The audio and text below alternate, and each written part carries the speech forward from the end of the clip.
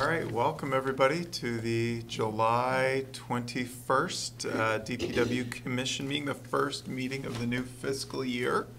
Uh, I, as uh, Director of the department, Chapin Spencer, will be running the beginning of the meeting until we get through the election of officers. So welcome everybody uh, virtually and those who are here in the room. Uh, Our agenda is uh, as follows. We have uh, call to order, uh, which I have done, uh, approving the agenda, the election of chair, vice chair, and secretary. Then there are a few consent items, no parking zone on Lakeside Avenue, the Cherry Street add 15-minute parking space, Shelburne Street roundabout temporary ordinance change, two deliberative items, the Sustainable Infrastructure Plan and FY '22 draft goals and objectives, approval of the draft minutes, director's report, and commissioner communications. So, um, we have two new commissioners with us tonight. I Want to welcome Zoe Kennedy and Daniel, is it Motino? Um, Welcome, we're pleased to have you uh, as new uh, commissioners. And uh, we operate with Robert's Rules of Order, so I'd welcome a motion uh, to approve the agenda. I'll make a motion to approve the agenda. Great. I'll second that. Okay, second by uh, Chair Hogan. Is there any adjustment to the consent agenda? Team, we good? Okay, great. Any discussion? All those in favor say aye. Aye. Aye. All those- uh, Let's see, we have Commissioner Bose uh, calling remotely, is that correct? Yes. Great. So, all right, so uh, I'm going to just go uh, do a roll call. Uh, Dan Montano? Hi. Uh, Pablo Bose? Aye. Excellent. Uh, Brendan Hogan? Aye. All right, Peggy O'Neill? Aye. All right, Sylvia Overby? Aye. And Zoe Kennedy? All right, great. The agenda has passed. So moving on to election of chair, vice chair, and uh, it says here secretary or clerk. Just a quick overview. Uh, The chair and the vice chair are the ones who facilitate the meetings uh, annually for the fiscal year. That would start this meeting and continue to June. And then the clerk is responsible for the minutes. The clerk is allowed to be a staff uh, position, and uh, we are uh, welcoming if the commission would like staff to continue with the minutes, that you could uh, select Val Ducharme, who is our customer service uh, representative. She's not here tonight, uh, but she uh, and Holly work on the minutes, so should you all want that to be delegated to staff, uh, you could uh, nominate uh, Val Ducharme for clerk. Any uh, nominations?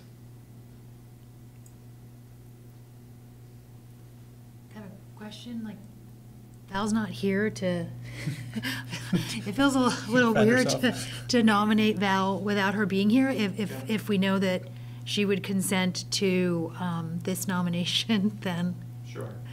I mean, if, if, if friendly, you could, you could select uh, Rob Goulding uh, as, as the clerk, and he could work with Holly and Val. Um, It is fine for us either way. So, okay, so I'll nominate um, R- Rob and Val, is that a, or just has to be one person, like? Just one person. Okay, Rob to work with Val and Holly. Yep, okay. As Rob clerk? Goulding, As clerk, yep. Okay. Uh, A a nomination doesn't need a second. Are there any other nominations?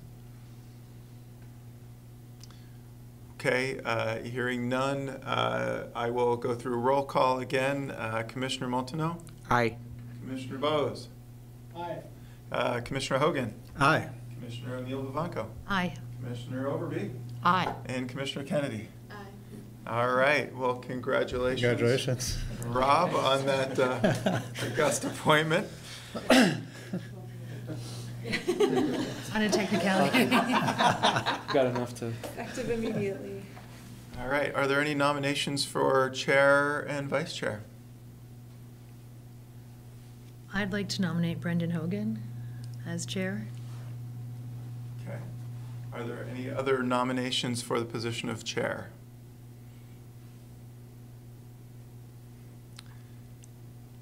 All right, hearing none, uh, I will, uh, any, any discussion? Tough competition. We have to ask I'm whether you're flattered. willing to accept the uh, nomination. I would be willing to accept the nomination. Good, that is, that is helpful. Great. Any other discussion? All right, well then we'll go to a vote. Uh, Commissioner Montano? Aye. All right, Commissioner Bose? Aye. Commissioner Hogan? Aye.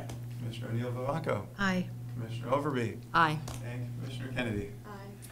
All right, we're two-thirds of the way done.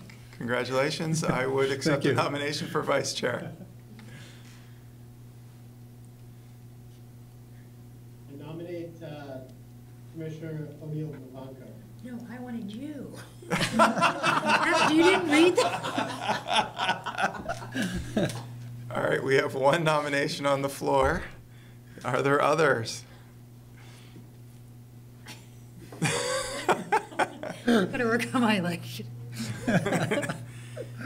Uh, Commissioner O'Neill Vivanco, you're more than welcome to nominate someone if you'd like. That's okay. I would accept the nomination. Okay, fair enough. Uh, Any discussion? All right, we'll go to a vote. Uh, Commissioner Montano? Aye. Commissioner Bose? Aye. Commissioner Hogan? Aye. Commissioner O'Neill Vivanco? Aye. Well done. Commissioner Overby? Overby, yes. And Commissioner Kennedy? Aye. All right. Excellent. Well, congratulations. Congratulations. Thanks, you too. Nice try. We'll get you yet, Pablo. All right, well, with that, I have the uh, pleasure of passing the uh, virtual gavel over to uh, newly re-elected uh, Chair Hogan. All right, thank you, Director Spencer. Uh, The next item on our agenda is public forum. Um, Do we have any members of the public interested in speaking? There is no one uh, here or signed in to Zoom to speak. All right. With that, I will close public forum. Okay. Moving forward to the consent agenda. Three items, no parking zone on Lakeside Avenue, Cherry Street, 15-minute space, and a temporary ordinance change for Shelburne Street roundabout.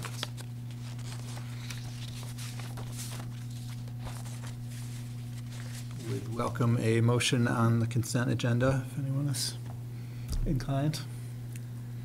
I'll make a motion to approve the consent agenda. We have a- I'll second. We have a motion from Vice Chair O'Neill Vivanco and a second from Commissioner Montano. Very good, thank you. Is there any discussion around that motion? All right. Thank you, Charlie. All right, I think we are clear to go to a vote on the consent agenda. Uh, Start with uh, Commissioner Montano. Aye. Right. Commissioner Bose? Aye. Thank you. Vice Chair O'Neill Vivanco? Aye. Commissioner Overby? Aye. Commissioner Kennedy? Aye. Aye for myself. The consent agenda passes. That's everyone, right? All right. Moving forward to item six, Sustainable Infrastructure Plan 2.0. Uh, Welcome a staff communication. Yes, indeed, we're excited to uh, have Martha Keenan back uh, in her new role as a Special Projects Coordinator. And What's the official title? Capital and Special Projects Director. Capital and Special Projects Director up at the Clerk Treasurer's Office. Uh, Martha has moved from DPW to serve uh, the entire city through her new role. We're really excited to have her in this new role, and uh, she's got a short presentation on our proposed do I move it on you? You get heard right after. capital plan. You just have to speak. I just speak. I don't, and I share my screen. Can you share your screen? Good evening, everybody. I am technologically challenged. I may have a new position, but I still haven't figured out all the technology. So let's see if we can do this. I'm confident that we will figure it out.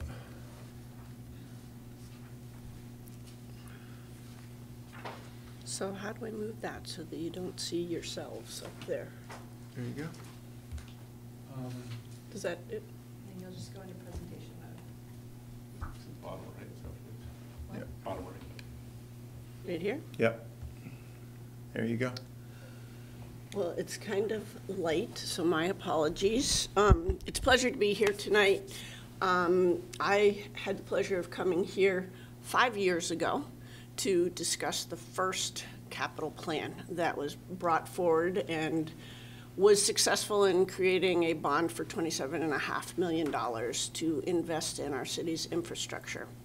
And first five years have flown by. We've gotten a lot done. And um, capital never stops going away. As I joke with Norm, is that it might stop when the potholes stop in your roads, and that's never going to happen. So we have capital for forever. And the capital plan itself is a snapshot in time. So you can take a look at it and we create a plan, but in fact, it is a living document and it changes and moves all the time. So um, we had a wonderful rain event last night and capital projects come out of a rain event. So um, that's one really easy way to explain how, how evolving and spontaneous it can be in moving forward. So I'm going to look at what have we accomplished over the last five years? What did we learn from the last five years? And where are we going from here? Ooh, it worked. Um, um, so over the last five years, we improved over 14 miles of sidewalks. Prior to this bond that we received, we were averaging one mile of sidewalk work a year.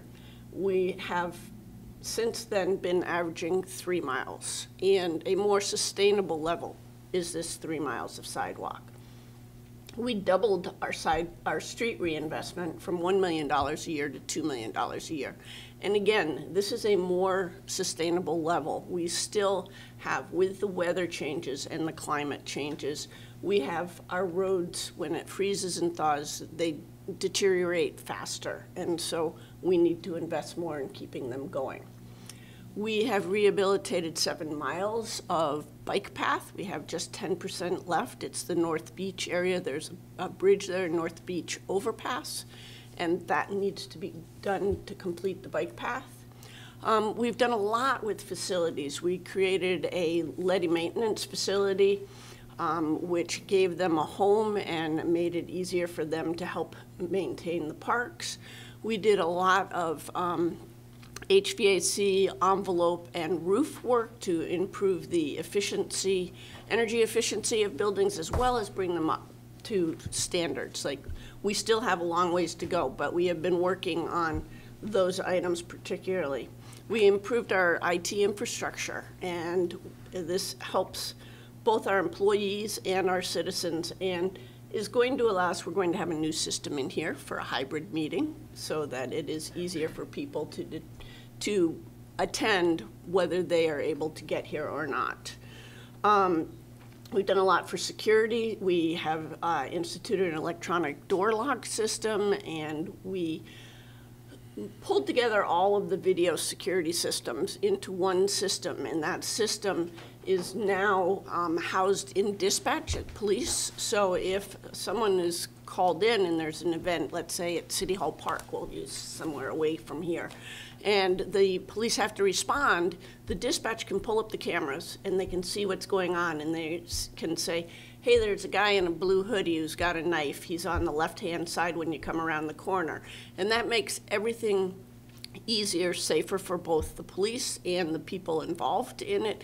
They're walking into something and they have eyes that are helping them know what they're walking into rather than walking into blind and not knowing what's going on. Um, we have created an asset management committee, and asset management is a key to our whole capital plan. With asset management, we have an inventory, or we will have an inventory of all of our assets, and we will be able to input the work that gets done on, on them, what their condition is, and be able to make decisions as to replacement much better by knowing this on an ongoing basis and having it in one location. So this is going to help us maintain our plan and do better on our strategizing of our plan. We have um, improved on our, one area we were sort of missing when we did the original capital plan was the public safety aspect of it. We didn't um, really include, not by intent of excluding them, but the police and fire department. And they have a lot of assets in the way of body cams, uh, cameras, um, and radios that help create a system throughout the city to uh, monitor things and to talk with each other. Um, and we just didn't have that included in our plan. And so in our new plan, we're making sure that we include those people in uh, the plan itself. Um, we've done uh, renovation here at 645 Pine and at City Hall. Both of those have improved security and made the systems, the visit for the public much better than it was previously.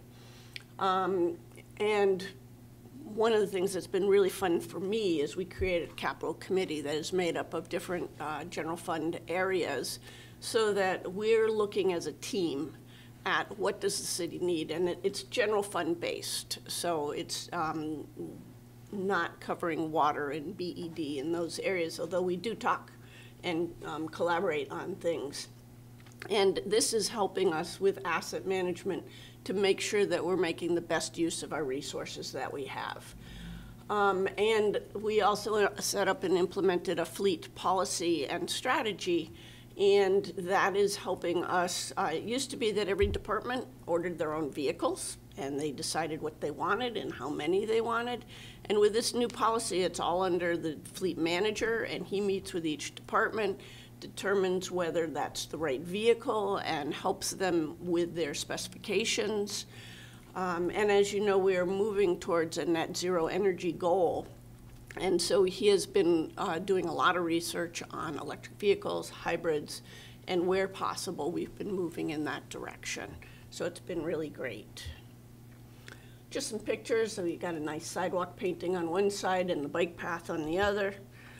Um, what have we learned out of this? That it's an evolution, and it's.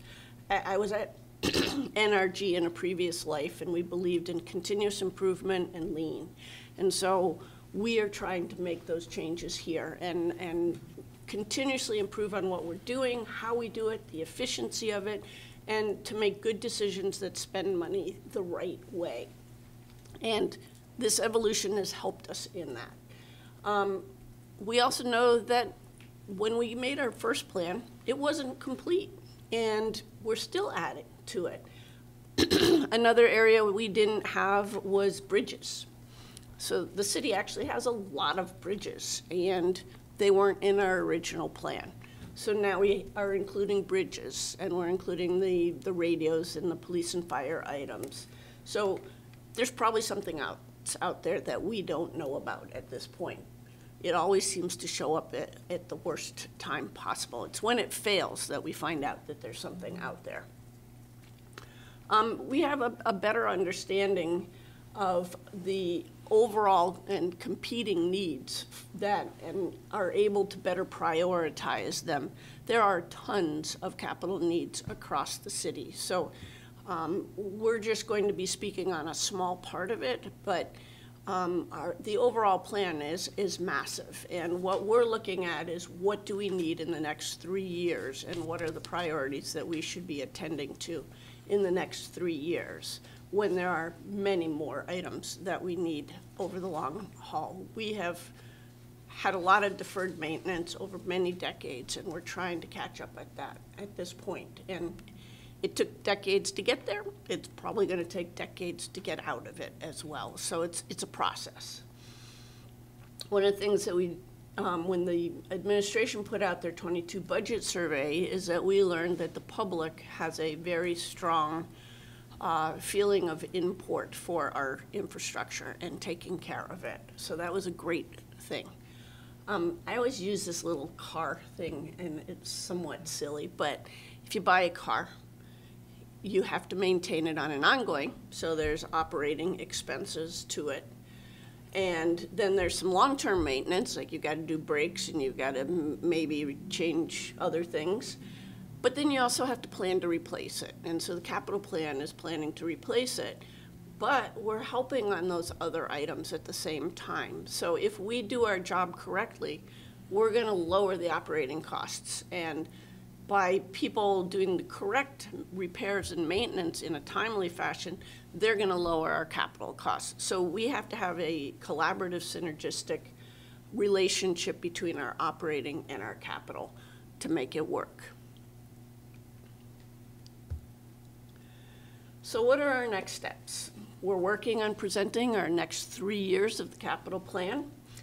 And I chose, um, and we chose three years at this point because three years you can truly plan and you have a good idea of what you can do and what is out there.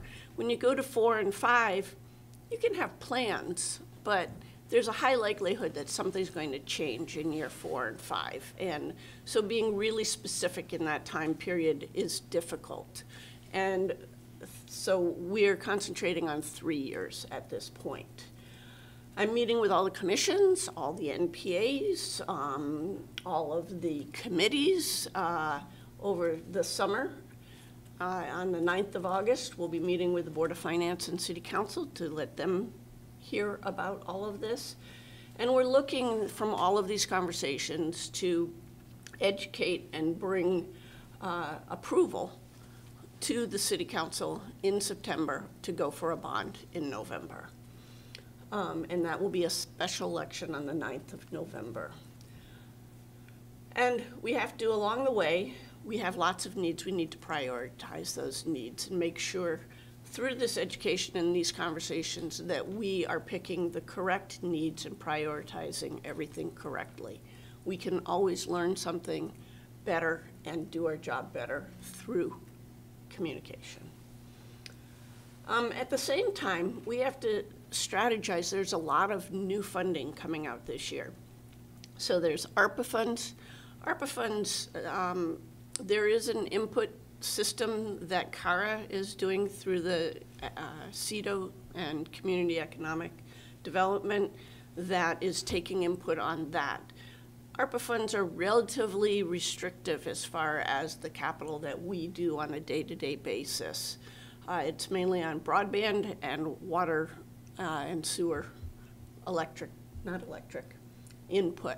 So um, it has a use and uh, it is a possibility for some, but it doesn't deal with a lot of our capital that we're talking about tonight.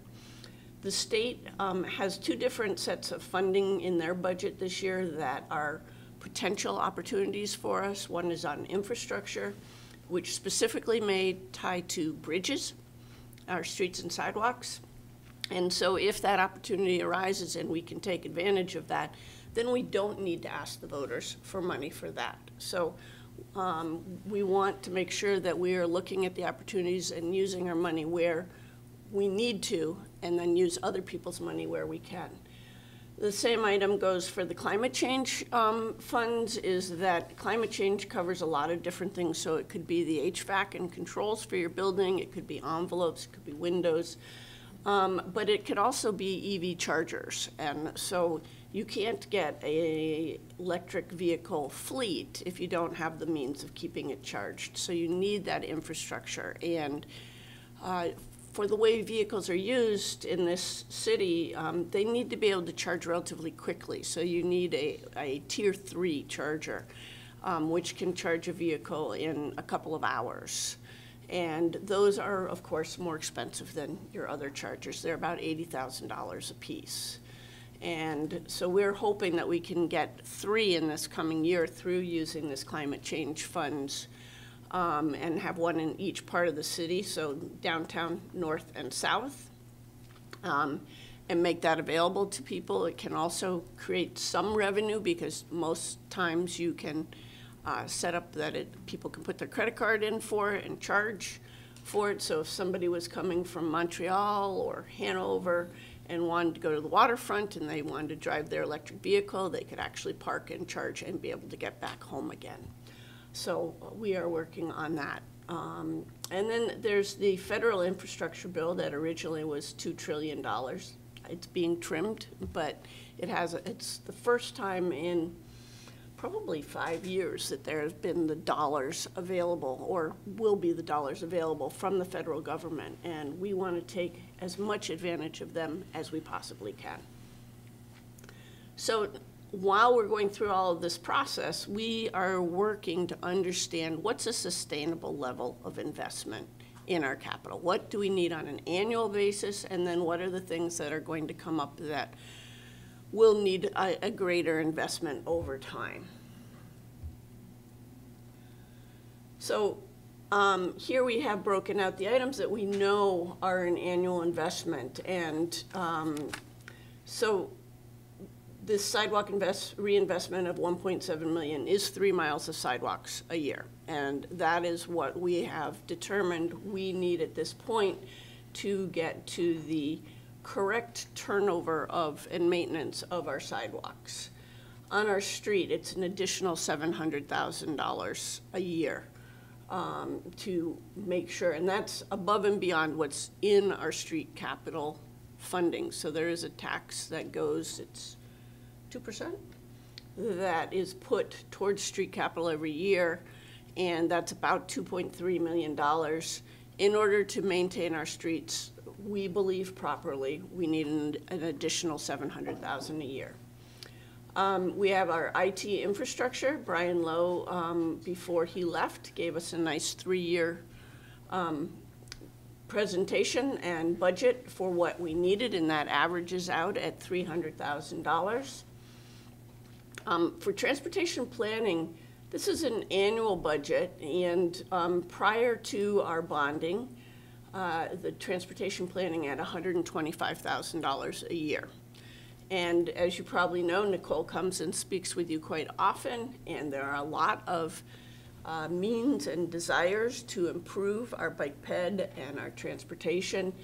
And this is just the beginning of what is needed. Like, there are other projects, there are two projects that are budgeted this year to do uh, separate streets and that were, the public had asked for.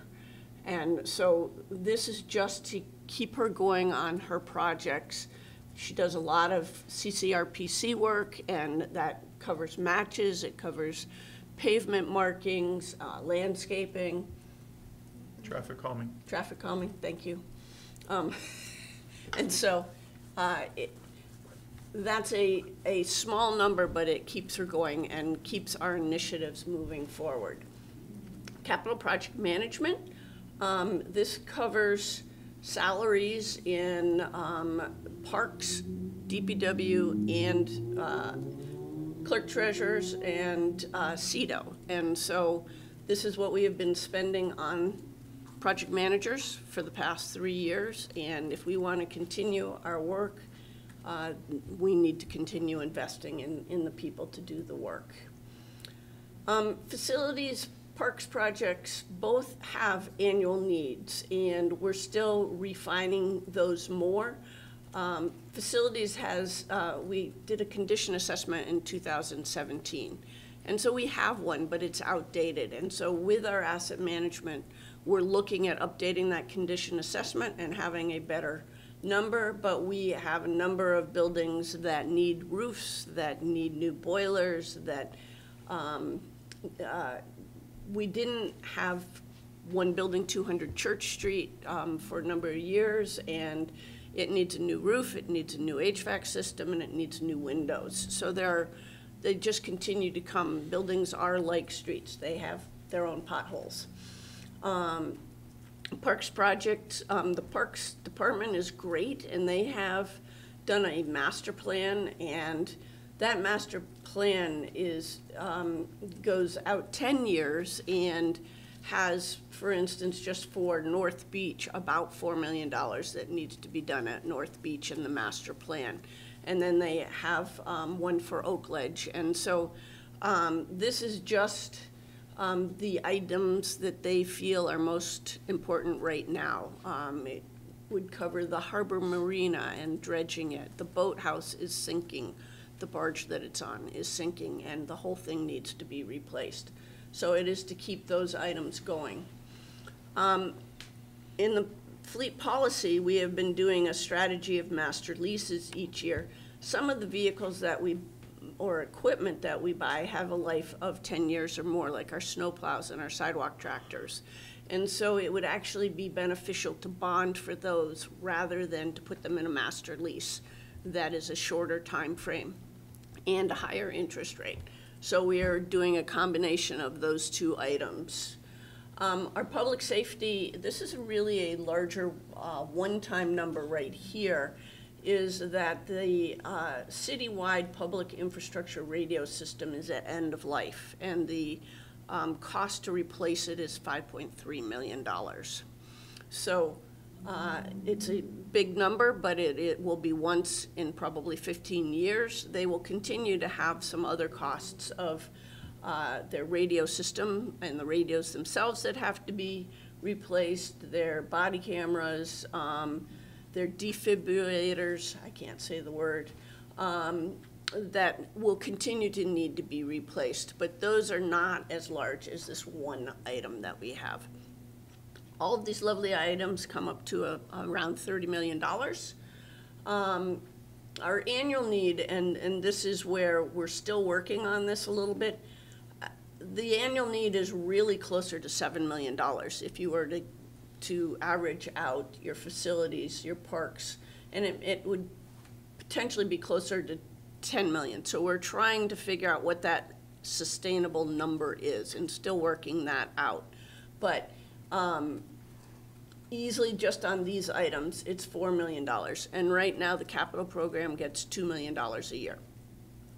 So it was, it started at 1 million in 2009, and in 2012, it went to 2 million. And we haven't had an increase since 2012. So we really know that on a sustainable lever, level, we need to go a to a higher number.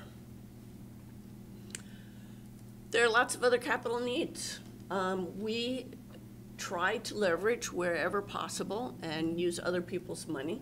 And some examples of that are the Rail Yard Enterprise Project, the Parkway, Shelburne Street Roundabout, the rail realignment, and there are tons of other little grant projects that are out there. Washington Berry was one.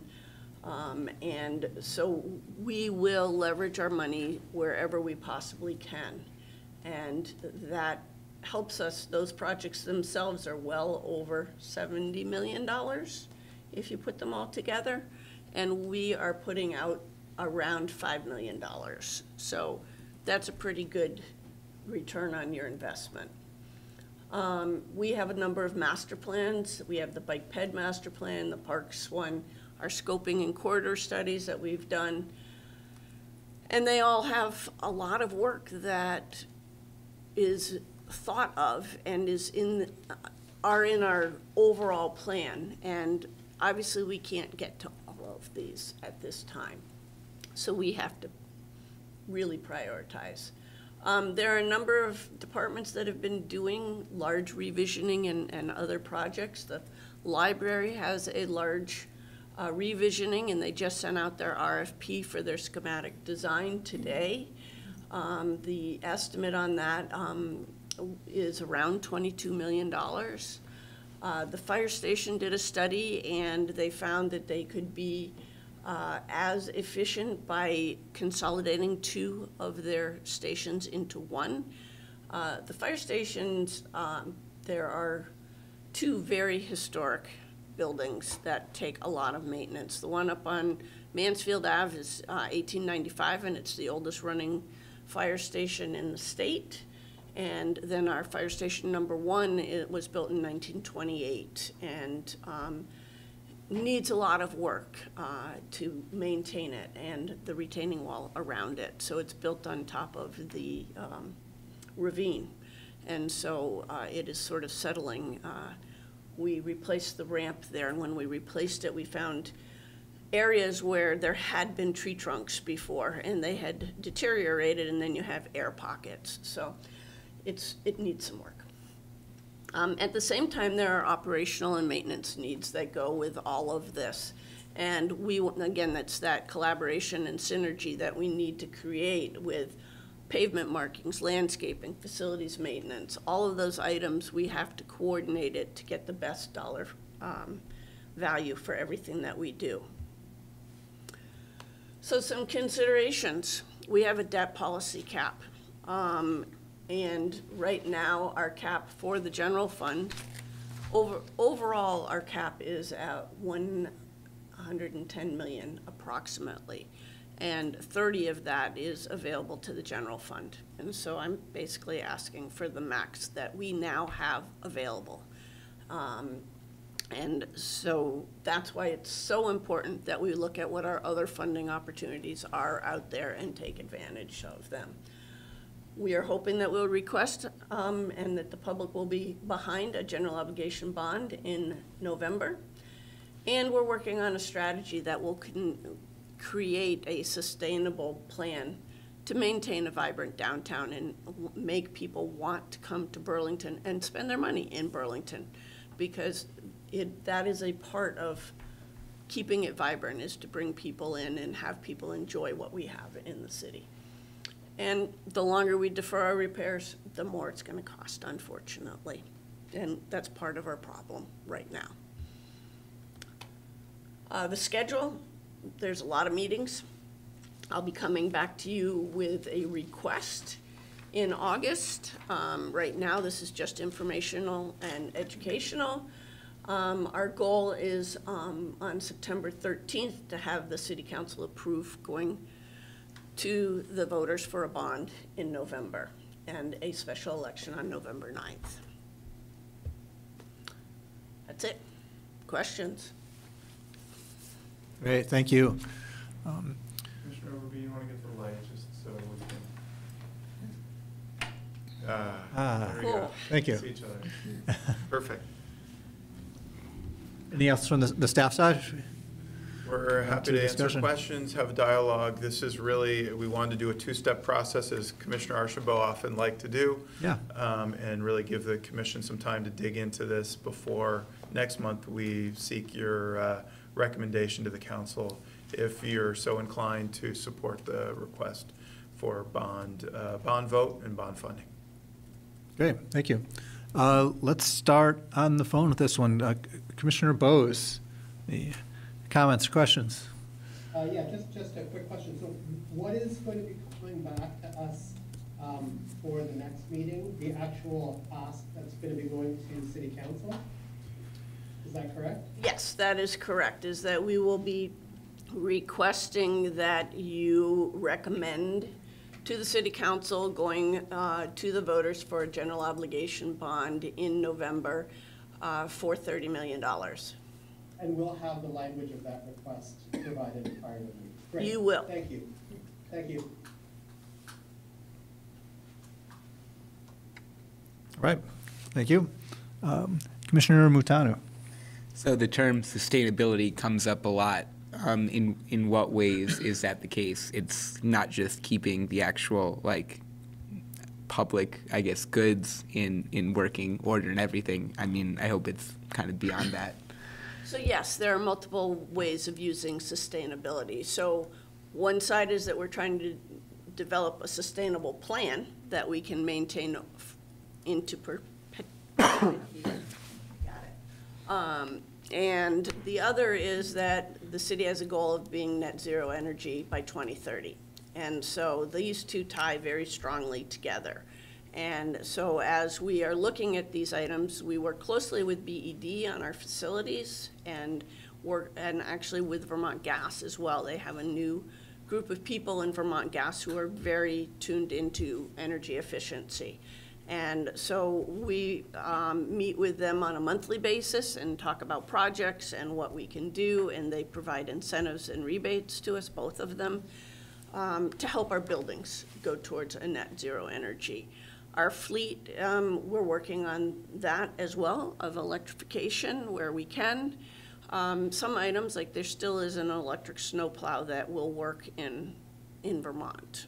Um, I think they do have them now, but some of the challenges are that going up and down the hills um, and the amount of time, oftentimes our plows will work 24 hours at a time. There just isn't an electric battery that's going to keep that going. Um, So we're looking at that and delving into it all of the time. Um, There are a number of parking lots that have pervious pavement at this point, and so we're looking at that as well.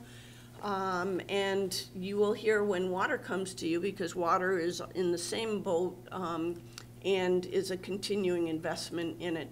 They've been doing a number of green um, projects to help the rainwater and stormwater go and be useful. Um, And I can't speak more on that because I'm not educated enough on it. Um, But it's pretty fascinating what they're doing. So um, all of it is to become more sustainable, reduce our carbon footprint overall for the city, become net zero energy. Transportation planning is a part of that. The more we can get people on bikes and walking, that helps.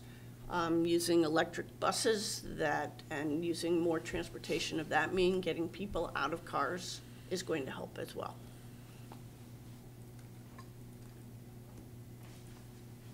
Thank you. Any, anything else on your end? Nope, that's good. Thank you. All righty, thank you. Tremendous.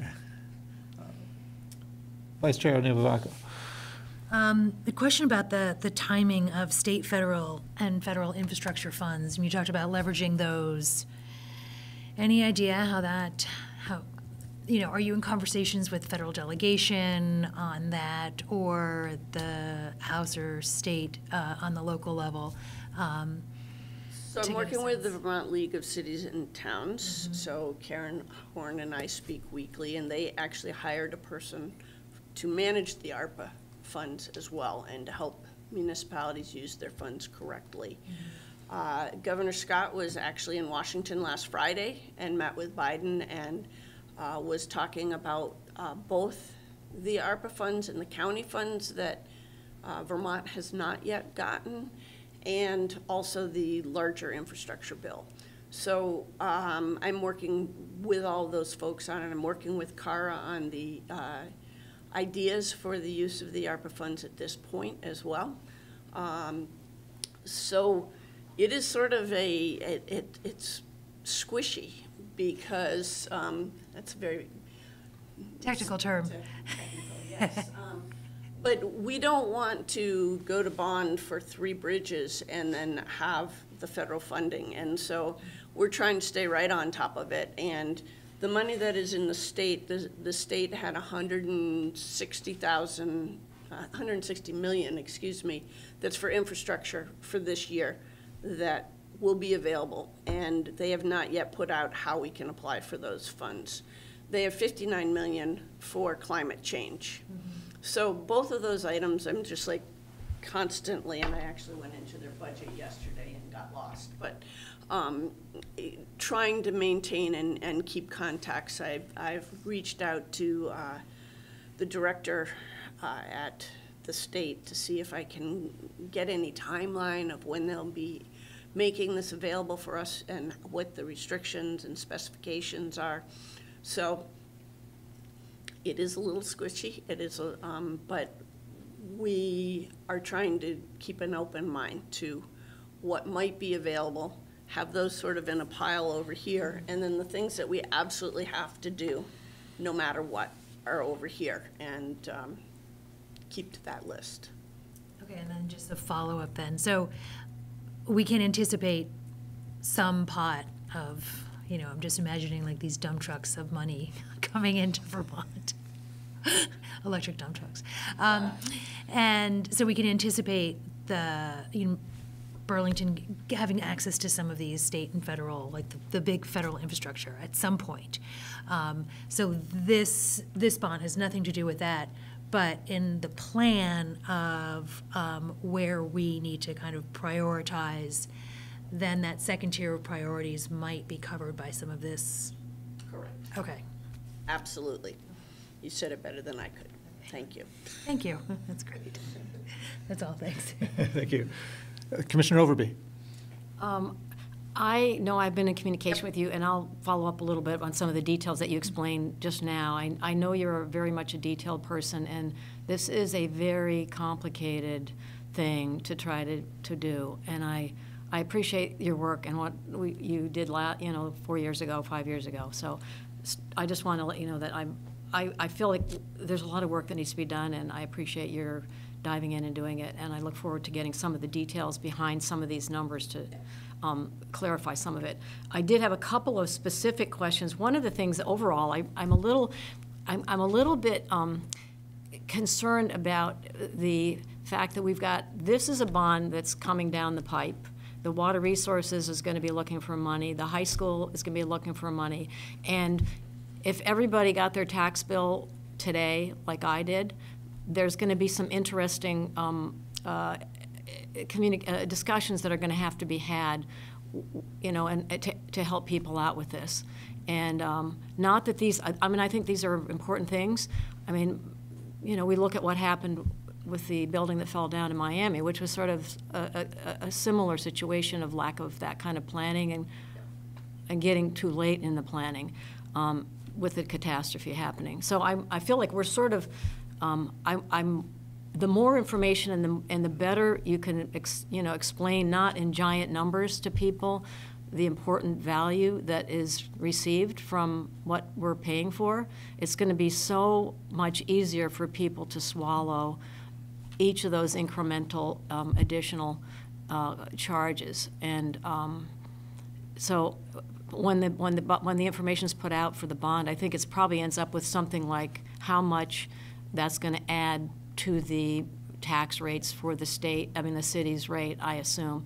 Just so people, based on the, what happened to my tax bill, I'm, I'm sure people are going to be in, um, in quite a bit of pain already.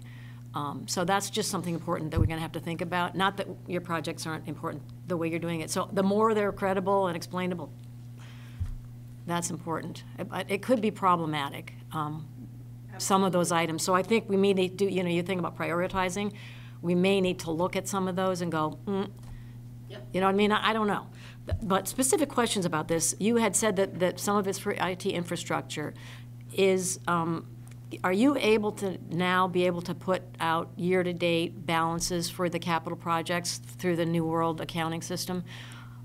Because I know one of the, con- um. one of the concerns has been, been money that goes into different places and then comes out of different places, and then there's reconciliation, sort of to, you know, make it look like the money's all, you know, spent the way it was supposed to, using spreadsheets. And I have a big concern about the lack of sort of clarity on, so, so I'm really concerned, are you able to, is that part of this infrastructure improvement to make sure that that happens? And are you able to do that with the work that you're doing now? So we instituted project um, accounting this past year, and um, this will be the end of our first year in project accounting, which will allow us to run much better reports. The other um, part of that is that each different revenue goes in in a different line, and it's fully funded at the beginning of the project. And so if that project is completed, then you close it out and those revenues go back to be spent on another project. Previously, it wasn't as clean as that. And so now we can run balances, and we aren't done with our reconciliation for, it will probably be October before we're totally done. But um, we can run reports on each of those projects of what has been spent of which funds and what the balances are for them. So that is a much better step forward. Uh, Additionally, we are looking at a capital forecasting software to be able to put all of these projects into and then be able to do what-ifs. So if we do this, it will have this effect on us. And um, we will, not from that, but we did last time uh, create a document that showed what each different vote would do to your tax bill. So if it was approved that for the average median household, it would do this. Um, And I think that people found that very helpful last time. And so we will be doing that again this time as part of our information. I do see that it could be a real challenge, and therefore, that's why there's this huge list of people to talk to, is that educating people and getting out there and making sure that they understand why it's important and what we're doing and um, where that need comes from. Um, You know, we can't go back in time. It's where it is, and uh, you can't really put, you don't want to place any blame anywhere. It just is what it is right now, and we need to move forward. And so presenting that and putting the best foot forward that we possibly can and letting people understand we are using their money in the most efficient, best manner for the lower cost of use that we possibly can. And so, yes, you have very good points, and they are true. And and I think the details will help people to feel like it's a good investment. Sidewalks, I don't think anybody complains about, but, but, you know, things like dredging the harbor, people might say, you know, I don't have a sailboat out there, so that might not be a top priority, but, anyway, Yeah, just, you know what I mean, so the It's a details. huge revenue earner for That's okay, city. yeah. So That's, you know, that's one of the things that I have talked to particularly parks about, is that they have a lot of different revenue areas. And so if there are projects that they can do that will increase their revenues and help the city, then we should do those projects first and um, prioritize it in that order. And so, you know, being able to show that the reason we're investing in this is that it's going to increase our revenues by this amount, um, and therefore the return on investment is that much better. That is key to making it worthwhile. Yeah, that, well, that has to be just information to the public so they can get that. Otherwise, it would, it would look on the surface of, you know, providing a, a, a service for people that are wealthy and not the rest of the community. So that's, a- you know, you've got to figure out how to sell that. Um, The fleet management thing, it, has the the fact that there's a fleet manager making decisions about, you know, all the fleet purchases, has that actually reduced the number of vehicles that we now um, own and lease in Burlington? Well, actually, no. Reducing the growth. It's reducing the growth. We have actually uh, added a couple of vehicles simply because we added this urban patrol this year um, in, uh, for the park areas, and we got electric bicycles for them. So we increased, we considered those part of our fleet. Um, It has enabled us to uh, turn our vehicles in a better way. So we had more money come from trade-ins and sales of vehicles this year than we ever have, because in the past, we have driven vehicles until they have no value. And now we are getting, we are trading them at a time when they still have a value, but they are costing more in maintenance than it's worth. So um, we're able to do that uh, analysis of, is it time to get rid of the vehicle? And we're getting more equity for it when we do. So it is helping in that means. It's not actually uh, reducing the number of vehicles. Um, When we had a consultant come in, and unfortunately, there were not a lot of vehicles to get rid of. Are, is there sharing of vehicles between departments now? Is there more sharing because of this uh, fleet manager There is. role? Yes. So that's a good thing, that, that you don't have vehicles sitting around. Um, So that's an important value to that. Um, Can you just explain the debt policy cap? Um, There's, obviously, it's like when you go to borrow money as a homeowner, you have a limit of how much your, you know, your debt load is. Is something like that for the city? I, I didn't quite get what you, how you explained that. What, how much we're, we're, we've borrowed already and our debt load and what we, we, we can, whatever, legally uh, borrow. So about three years ago, when CAO uh, Anderson was uh, here, uh, they went to council and created an ordinance for what the ceiling was for what the city could comfortably borrow. And so that is our debt capacity cap. So, um, and I believe it was $195 million. Um, Please don't, um, I do have some documents on it, but I'm talking off the top of my head. Am I close, Chapin? Uh, it looks like 290. Or, 290. Yeah, something like that. So, thank you for not quoting me. Um, But Oh, um, that uh, is, Yes, you're right, two hundred and nine for maximum city and BSD debt, yes. okay, that's close, good, thank you. Um, So it's split between the schools and the general fund for this. The enterprises have revenue bonds, so those don't tie and don't go into our debt capacity. Um, And so they set that three years ago, um, as it was Moody's recommendation. And uh, we have been working with that, but we do have some major challenges coming up. And so uh, whether there will be any uh, change to that, I can't say. But does that mean $209 million a year that we can borrow That's each year? debt. No, Or that's the grand total that we carry for debt? Total long-term debt of general fund borrowing. Okay, and so, ho- and so right now, we have how much general fund long-term debt? Around hundred and seven million dollars for a balance of hundred and three million dollars. But, So you're, right now, we're only halfway to our, our debt capital. correct. Except- However, the key issue is that the lion's share of the available debt is within the school district, and that is to accommodate the high school. So uh, we, on the general fund side, only have an availability of approximately $30 million left until we I- hit the debt. So ceiling. 107 of the 209 million, sorry to be, I'm dense here. Uh, So 209 million of the cap for the schools and the city. Yep. We have borrowed 109 million, is that us or the school? It's a combination. Okay, so, and then the other 100 million, you're saying is, except 30 million of it is for the So- school? Like that extra 70 that was the, that we already sort of, rec- okay, okay, so, Yes. so we actually are, already approved another 70 million of that limit, which we just haven't done anything with? We haven't drawn I it got down. it, Right. okay. So that makes sense. We've got, I, I think I get that. Yeah. Okay, so we're just, that's where we're, you want to have another approval of the final 30 million that is up to our limit. Correct. Okay, and then we can figure out how much that's going to cost us, which is what you're going to work out. All right. Yep. I think, for that, for the moment, those are my questions, and I can follow up with more later. Thanks. Absolutely. Thank you. Thank you. Commissioner Kennedy?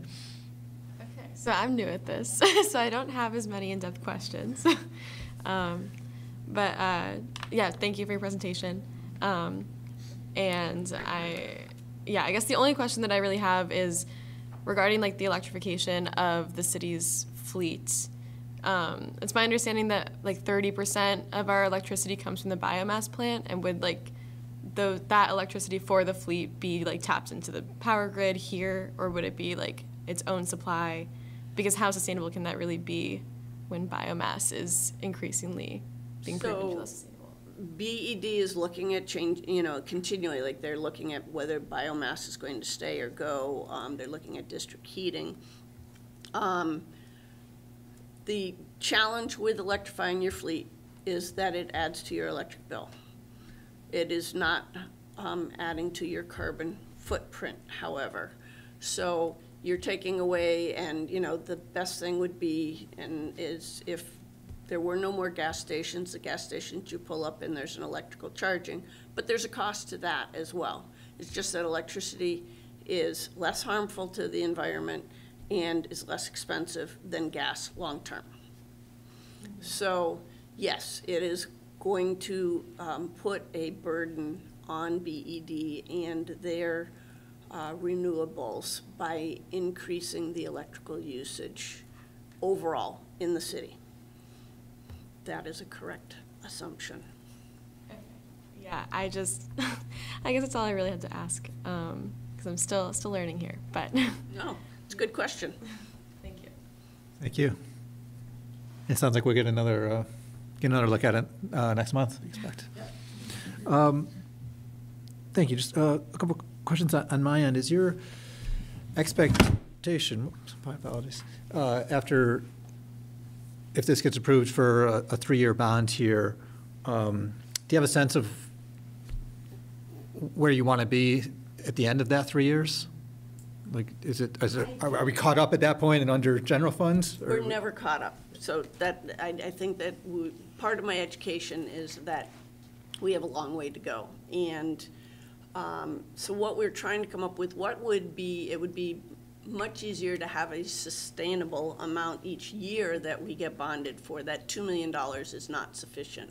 So my goal would be is that over the three-year period, we really firm up what that number is, and we go back and get approval for a number on an annual basis that we get to manage the capital plan with. Mm-hmm. And then if there was a large project, such as the library or the fire station or consolidated collection, that we go back for that individual request.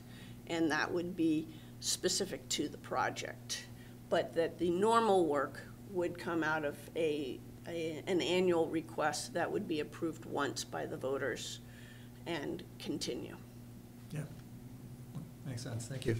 And suppose, I understand, um, there's a lot still in the works about the other potential funding, but, but suppose some of that comes through with overlap of our goals here. Is your expectation that you would then ask for like twenty-five million instead of thirty, or we just do different things with our limit of thirty? Yeah, we would, we would probably stay at the thirty million and get to the other projects that we're deferring in this request that we're making now. But that is ultimately uh, guidance that you all and other commissions, when you see, as Commissioner Overby suggested, you know, the cost for the average taxpayer, uh, we do have to balance this with the additional water needs and the, uh, as I understand, BED is interested in coming with a net zero uh, revenue bond as well. So there are going to be multiple pressures that we're going to have to balance as we evaluate our move forward. And just, um, I, I think I heard you that the, the bonding that our water, wastewater, and stormwater department is under is from a separate pool and does not count against this. That's this correct. It's a revenue bond and they don't go against our debt capacity. Thank you for clarifying Yeah. that. Um, Do you have a sense of the, like, for example, the transportation planning budget, like, looks great now, I guess I don't, I'm not familiar with these numbers, but, I mean, how does that compare to what we, what we spent on the, the last five-year sustainable We've infrastructure? been spending the four hundred and sixty thousand a year plus other projects that came along that became construction projects. So many times, she will start a project, get it through design, and then it will become a capital project from there. And then that capital project gets funded. So when I was speaking with Nicole, uh, in her um, bike ped master plan, there's over two hundred million dollars worth of projects that could be done, that came out in the plan. And so, again, this four sixty is allowing her to go to CCRPC and leverage money there and do design and, um, beginning projects, and then a lot of the, uh, quick pop-ups and the traffic calming come out of her four hundred and sixty thousand. So it's a stepping stone to an actual capital project. Okay, thank you. Yeah, nothing else on my end. Appreciate the, the back and forth here.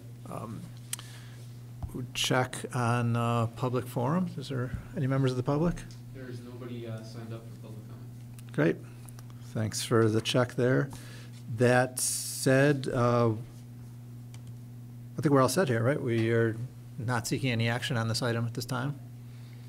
All right, thanks so much. I will close out uh, item six on our agenda. Thank you, appreciate the presentation.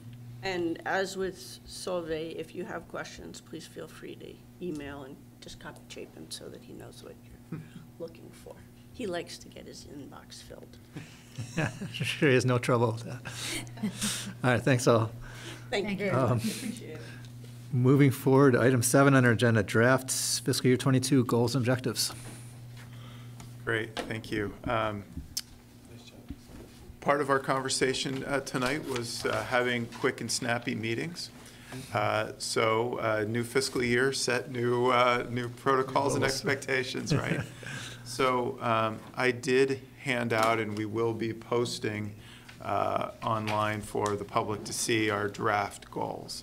Um, My thought tonight is to just give you a really quick five-minute overview so you can spend the time between now and next month, and then we can have a more substantive conversation next month. These goals for the new commissioners are advisory. They are to help you and the public understand, you know, the departmental's priorities. This is an opportunity for you to kind of help direct the priorities of the uh, department. And it's also, from what we understand from the commissioners, a useful tool when we are evaluated annually.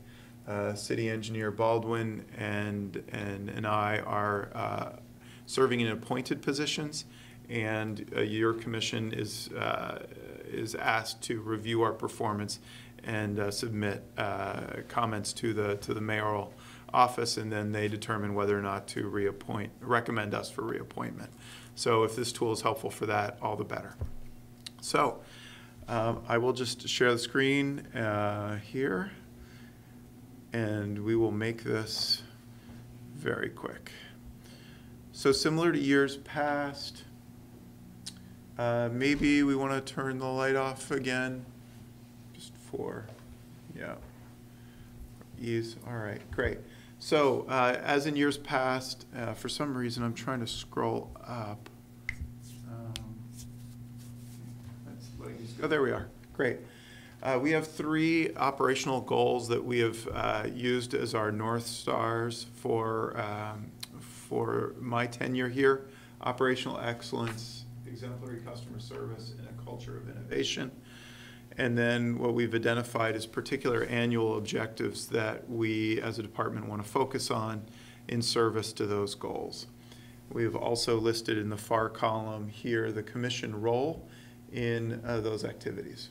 So I will not go through all of them. I think what I'll do is hit the DPW-wide objectives, which are the kind of top seven or eight, and then we can uh, review the rest uh, uh, at your pleasure and happy to answer any questions. So um, one of the major initiatives that we are uh, bringing to an exciting watershed moment this year is our asset management program. The capital planning that Martha presented on and the capital reinvestment are matched peas in a pod with asset management. This, the asset management is the maintenance of the vehicle once we've already purchased it, and then the capital improvements uh, are the replacement or major upgrades of the vehicles. Um, So we are planning to go live with our asset management program this year. We have procured a software. We are in the middle of implementing and training our teams. This is a software tool that will identify every asset within our control, from pumps at a sewer plant to vehicles that we have, to sections of pavement, um, that we will be able to identify to sewer main segments, uh, the maintenance schedule on those assets, the age of those assets, the condition of those assets, and all the work we have done historically on that to give us the information. Do we need to reline an asset? Do we need to replace it? Uh, et cetera. So we are launching this new computerized maintenance management system this year. We are extremely excited. And uh, that will give us more up-to-date data that we can share with you in the public much more quickly. Uh, Second is something you heard about tonight, which was close the capital funding gaps. One of the responsibilities we need to do to ensure the resiliency of our system is to uh, be able to plan for these major upgrades and to help the community understand when we need them and to get approval for, uh, for those projects. So tonight, you've heard about the general fund. Our plan is to be uh, with you in the coming months to talk about the water, wastewater, and stormwater reinvestments. And we have been very successful together in the past five years, thanks to the partnership between staff and the commission in making a generational reinvestment. But unfortunately, as you heard tonight, we continue to need to do that work. We are not over the hump. Third is enhance growth opportunities within the department. Uh, It is important to me that we build a sustainable organization and people are its most valuable asset. So how many of our hires for managers, uh, working foreman, foreman, are from within? Are we training our teams? Are we giving them the support to grow in our organization? We have had a number of internal promotions lately. I'm very pleased with that. Um, But we want to have a clear metric of understanding how many staff are getting professional development opportunities and how many internal promotions uh, are we able to bring every year. Fourth is increased engagement of underrepresented constituencies. Uh, Thanks to Public Information Manager Rob Goulding and uh, many on our staff, we have done a much better job at reaching out to the public and engaging the public. We also have a new equity toolkit, racial equity toolkit that the Racial Equity, Inclusion, and Belonging Department has uh, developed. And so we need to implement uh, our efforts and implement the toolkit's use and evaluate each of our new programs before we launch them to make sure we understand that it is not disproportionately impacting any uh, vulnerable constituencies. Uh, Number five here is reduce injuries. Uh, We are a, uh, a department that does a lot of uh, construction work uh, and field work. And it's not easy work, and um, many of the positions are exposed to significant risks. So uh, we have successfully knocked down the number of recordable injuries that we have had every year. We uh, about five years ago, we're averaging somewhere between 17 and 21 recordable injuries. Last year, we were down around 10. Our goal this year is to be at uh, 10 or fewer uh, for this year. So obviously, safety has got to be our top priority. Um, Number six, expand preventive maintenance program. Uh, This is a, uh, together with the asset management program, this is carrying out the recommendations and to do more preventative maintenance.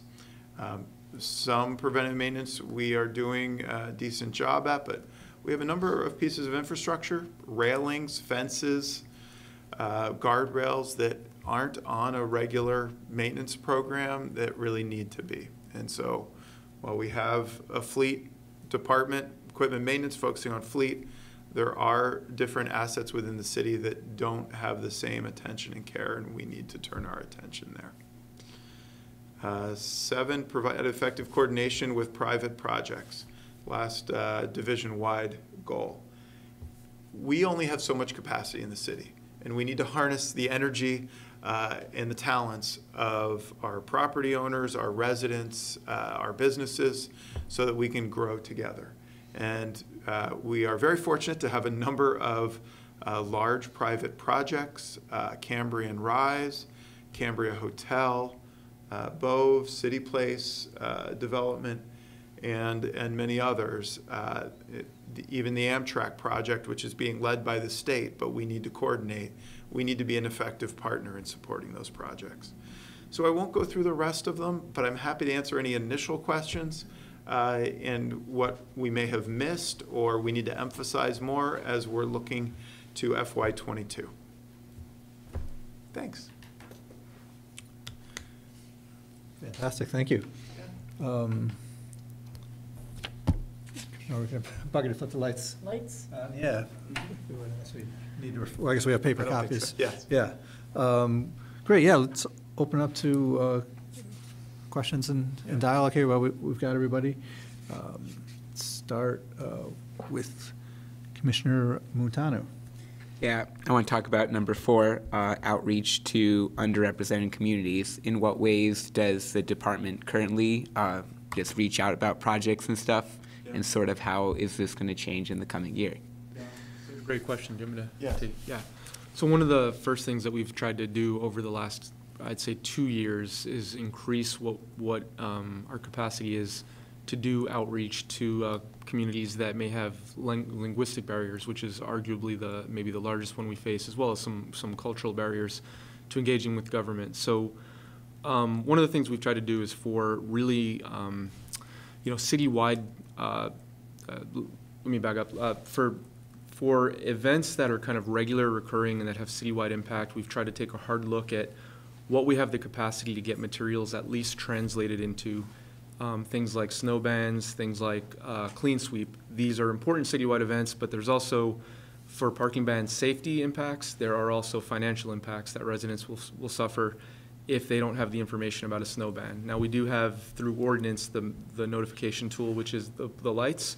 But, you know, if you're a new resident, if you're a longstanding resident and haven't paid attention to municipal government, you may not know about the lights. So we've taken the opportunity to get all of that material translated into, I think it's uh, five or six languages right now. We're targeting another four languages for all of our translation material as we've learned a little bit more about um, some of the best practices and some of the more commonly spoken languages in Burlington, working with a couple partners um, in city government, but also with the Burlington School District. We have learned and gotten more data about what, you know, what those really key nine languages in Burlington are. Like I said, we started with five or six. So snow bans, uh, clean sweep, these bring $125 tickets. So while we want people knowing about the work we do, we also don't want them, so, so there are tons of projects we would love to kind of translate material, distribute material in. it's really these things that we just don't want people suffering the financial penalty um, because of language barriers. So we've taken a look at a couple things like that. Um, one of the one of the first things we did um, get translated were our boil water advisories and our mandatory boil water um, events. Luckily, we've only had two in, in recent city history. They came re- relatively close together, mostly based on a change in state law that required kind of a different threshold for notifications. But once we had the first one, which was regional, we decided, you know, we can't have that happen again and not be able to communicate even more effectively with all of uh, Burlington residents. So for, um, for the next one, which was, uh, I think it had become a citywide boil water advisory, we were well positioned with those, I think it's five or six languages to distribute to the community. Um, another thing we've tried to do is take a look at which projects bring a high level of interest or a high level of uh, controversy. And so for the Champlain Parkway, we've had now two meetings um, where we decided, you know, we're going to have, not only are, are we going to get the material translated, but we're also going to have interpreters on site. And so we had, um, for a, a citywide Champlain Parkway meeting in September of 2019, I think we had interpretation, on-site interpretation for five or six um, uh, languages that we had identified as being key to the project corridor. Um, you know, the next step here, as Director Spencer mentioned, is there's an, a racial equity toolkit that the Racial Equity, Inclusion, and Belonging Department has put together that we're evaluating closely and looking at kind of how to implement that with them so that we know how to kind of evaluate what projects need to be um, looked at from an equity lens, uh, potentially bringing in language, cultural, or other things that we may need to keep in mind. Uh, there's also a language access plan that was passed by the City Council that was mostly uh, spearheaded by CEDO, but we're looking and working closely with them, which is how we learned a little bit more about which languages we really need to strive for for material translation, and um, that's helping guide some of these next steps that we're trying to undertake with respect to what projects and what city citywide kind of initiatives we have underway that need translation. But I'll be candid and say that the other um, thing we're really trying to look candidly at is not only the the translation piece, which is becoming easier as we do it more. We know which organizations can turn effective translations around quickly. We're learning more about some tele kind of language options so that if folks call into either our water department or here, we might be able to in real time work with uh, folks who may have language barriers, but there's a distribution problem. And so one of the things I think we're always eager for help on is, um, you know, how do we get this material out? Because we can put it on Facebook, we can put it on our website, we can plead with the media when we do media advisories to share it as broadly as possible on their newscasts and on their websites. But I think there's probably more effective strategies that we're trying to learn as we learn um, on how to distribute material. So that's, you know, that's an area where maybe we have a blind spot right now, and I think we want to get better. Luckily, um, the division directors uh, and Director Spencer support this. I mean, very widely, and the project managers are all incredibly supportive of working with me and vice versa to make sure we get better at this. So that's kind of a snapshot of how we've tried to get better over the last, you know, 18 months, and hopefully the next uh, year can prove to be even more successful on that. Thank you. Um, Commissioner Bose, questions, comments? I wanted to quickly follow up with that. That was a great um, response, and I appreciate the, the kind of work that the uh, department has put into this. One thing I wanted to suggest is um, building on some of the lessons from uh, the success of the, the COVID vaccination, the BIPOC, um, especially with the, the new American community. Uh, one of the things that was really effective was partnering with, uh, I think it's called the Multicultural Language Liaisons or something like that. And what they actually put out was a series of um, videos, short videos uh, that were informative. And I think that also addressed the, the fact that, you know, when I think about some of the communication that goes out from um, the department, you're quite right. There's the kind of the regular uh, information about parking bans or, you know, kind of, uh, street cleaning or different things that comes out. Sometimes it's also, I think, really important, you know, I noticed um, that when you sent out the little info sheet today about yesterday's, I think you sent it out, right? The- the- That's right. Or maybe it was in, one? I can't remember. When the thing just went out about, you must have sent it out. I did. Whoever sent it out. about The infrastructure, right? That's right. And I was thinking like, you know, that was such an effective form of communication that was immediate, and I remember you doing something very similar when we had the, um, the water shut off.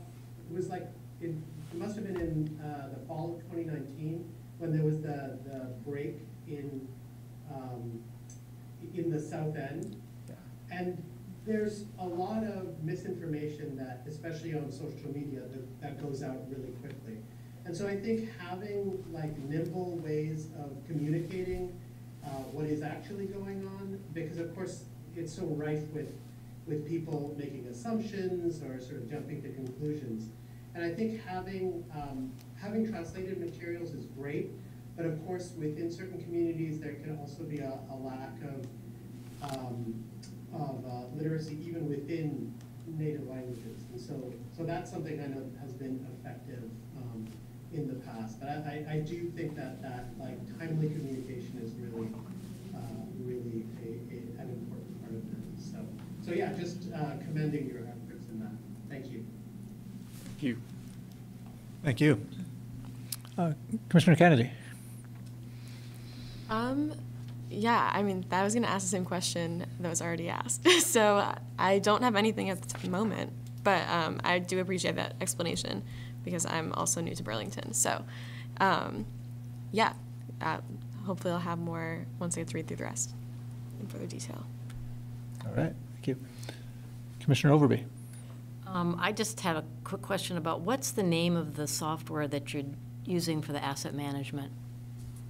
Or uh, the asset management software we selected through a competitive process is called VUEWorks. VUEWorks? V-U-E Works. VU Works, I think you told me that like a couple months ago, but I just wanted to make sure.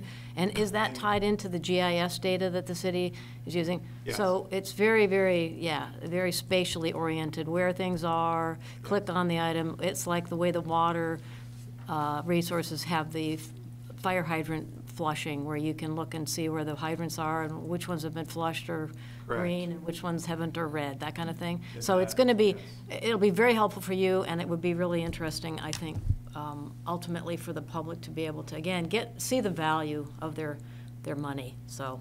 And I'll look this over with- in more Yes. detail. Great. Norm's team is managing the implementation of asset management. And uh, Norm, do you have anything you want to add? Yeah, I would just say that asset management really is the, the intellect to informing our capital planning function, but it mm-hmm. also ties back the maintenance to the capital investment. So the idea is between asset management and capital investment planning, you ultimately have the highest and best use of the money that's available to us and addresses the highest priorities and concerns. Obviously, when it comes to capital, there is significant costs that go with operating all these systems, and it's not likely that we're going to see all the money that we need to have things 100% in terms of capital reinvestment, but if you're doing proper maintenance investment, proper capital investment, you're minimizing those costs, and you're providing the highest value in terms of those systems being available to the public. And I think that's ultimately what you want to arrive at, is providing the highest value at the least cost while not um, overburdening the taxpayers. So that's, uh, the idea is those two together kind of help us arrive at a better place than, say, where we didn't have all that right information. We're investing a lot of money in capital, but not doing enough preventive maintenance, so the overall cost of ownership is significantly higher. So these systems really pay for themselves over a long haul, but it does take a significant front-end investment. It does take staff time and money to really pull it together, but I think we're on the right path. And uh, so you'll, you'll see, I guess I, what I'd say is a brighter future in terms of Burlington, in terms of the assets we own and how they're used. So it's a really positive thing. I, I, I totally agree with you, and one of the amazing things about it, I think, is that you're going to actually know, um, you know, those kind of things or those looming big costs in the future. Uh, th- this is really, I, I hate to refer to the condo situation in, in Florida, but that really is a problem for um, when you when you when you just do things as they come uh, come along. So you're going to have in, at any point in time you should once it's all been front loaded, and I know it's going to be a lot of work for you guys, but you're going to be able to at any point project those things that are going to be the big the, the big whack before we have to uh, sc- scuttle around, you know, three years ahead of time and try to, try to borrow the money. You'll see less reactive response to capital challenges. You'll, you'll see less of emergency response and more of planned or sequenced work. But that doesn't mean it won't go away, because there's a significant backlog of capital. But, but the fact of, it- the, it- not doing it in an emergency because you really have, Yeah, have you- you- documented the projections Yeah, of when the money is gonna need to come due, and that's where Yeah. um, condo associations really, there's no requirement of any of those to do that. So people can buy a condominium, and the association will have no idea which these looming things are, depending on how the act, how, how the, the condo board, who are volunteers do it. So I, I really am supportive Yeah, of that what is you're a doing. hidden and I'm cost Excited, and um, I'm glad that you, you've taken many years to get here. I've seen that. You're working in your way, and so I'm, I'm very excited about what you're doing with that, and we'll continue to want to see how, how excited you are about making it work. And you can do demonstrations for us at some point. Well, asset management system will really inform our staff in real time, the condition of situations and, in systems themselves, but also capture the, in- the intelligence that you capture when you go and you manage those systems or do work on those systems. So, you know, you have one person working on it one day and next day another person's working on it. Do they know, have they talked to each other about what they've done? Do they, are they making the highest and best use of their time? these systems will kind of avoid kind of duplication of work or things that didn't get any care at all. So you will have the person who's doing the work can actually make that data into the, put the data into the system, and then uh, everybody else is informed about it. So they're, they'll get value from other people's input to conditions and how things are. Absolutely, It's it really, it's just, it's, it's a Tablets complete, uh, you know, innovation that's going to make a big difference. Oh, And yeah. Absolutely. So thank you very much for all that work. We're excited to bring it to you in a couple months when we get this thing live. Yep. All right, thank you. Vice Chair O'Neill-Vivanco. I- I'm so excited about this asset, asset management tool. Um, I really think it's going to be fantastic. Um, w- Do you have a sense, you know, I know anytime you start a new technology, there are hiccups and bumps. Do you have a sense of when you will be able to, like, really come back to us or to um, the public and say, this is the value of this tool where we're seeing, um, you know, able to capture not just the data, but where we, we're saving, you know, some money. It's, so there's, there's cost savings, but then there is the delivery of the services that the public expects and needs. That is, a- that's value. And it can't, you can't put a dollar value on a building that's in service or a water line that's in service that didn't fail. But uh, certainly there is save, cost savings. Can we put a f- exact figure on it? I don't know, but But there's value, and I think it's, it's also using that lexicon. How do we explain the value if we, if there's not a monetary? Well, we're, we're trying to put our head around, I guess, kicking this off and gathering the information and- and kind of setting the table And I'm six months from to now. do all that metrics, but uh, without question, those metrics are important to selling the idea, understanding the, the value of that, but also just communicating to the public, where is their money going and what does it, what's it done for them? And is this, is this, in their opinion, the highest and best use of the funds that we have? Or is there a different set of priorities that want, people want us to consider? Part of it is they, they, you just gotta have these systems for them to know and understand the decisions they're making when it comes to, you know, master planning or any of these things. Mm-hmm. What, what goes, what costs go with those decisions? Are you prepared to accept those costs? Mm-hmm. So it, it's just more information for people to really soundly make best choices and decisions based on what their values and interests are. Well, and then back to the priorities, and, and maybe even back further to, to Martha's um, presentation, um, in looking at the deferred maintenance. Um, so with this system, how and who help set the priorities? Um, will this help, at least maybe identify on some level, then what are the priorities that are starting to rise to the surface, at least by a monetary value or by this is deferred maintenance, is, is it gonna have that capacity? And then where's the human interface, um, with, I don't know, is it committee or cross-section, Right. cross-division, whatever? Well, it's a, it's community decisions. There's, your elected officials, the mayor, there's council, there's the commissions, there's members of the public to provide feedback to staff about what their needs and interests are, staff and their professional opinions on how to take care of these systems, what recommendations they may have. So it all feeds into those decisions, all those elements feed into those decisions. So not one person is making these decisions, it's, it's the community as a whole with different levels of focus or interest.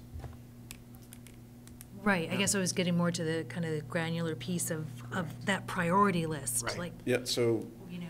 You know, How- how are we moving? So, it- you know, staff would put together, assemble kind of a, I guess, a system or a matrix of decision-making, you know, like when we look at capital committee, we're looking at, you know, does it avoid costs? Does it uh, respond to protecting against liability? Does it use other people's money, leverage other money to save costs to the city? Um, Does it respond to um, communities of, of, a- at risk, for instance, uh, sidewalk system? Uh, We're looking for a higher priority for senior housing, uh, walking to school, those sort of things. Um, And one of the kind of overlays to the sidewalk system is looking at, are we inadvertently missing on uh, disadvantaged communities, whether it be a BIPOC community or people of financial disadvantage? You know, are we, are we inadvertently not serving them well? So there's a lot of things that, that we're trying to do as staff to create policies that you as a commission or any other governing body within the city can accept and appreciate and support. So I think it does start with staff on how those things are structured and organized.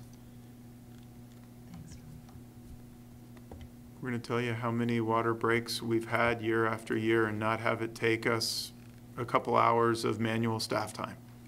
Right? We're going to be able to trend the pavement condition index over years and see how are we meeting our 72 uh, pavement condition index ranking. Uh, You know, all that data is really going to help democratize and make transparent, you know, why we're making the decisions we're making collectively to better our city. Right. Okay.